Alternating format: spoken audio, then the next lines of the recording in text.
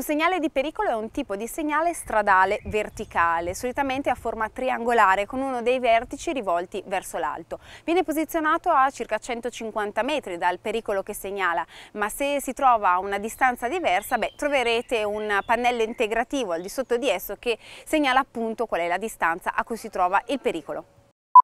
Un segnale di questo tipo indica anche la natura del pericolo e quindi impone al conducente una particolare attenzione.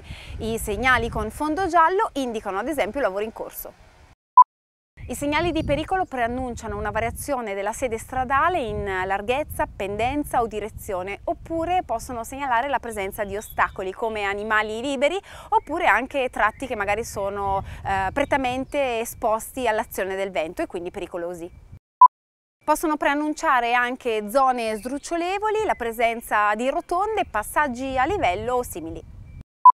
In prossimità di tutti i segnali di pericolo, Gubela ti consiglia innanzitutto di moderare la velocità e attivare la visione periferica in modo da essere effettivamente pronti a reagire all'eventuale pericolo in essere.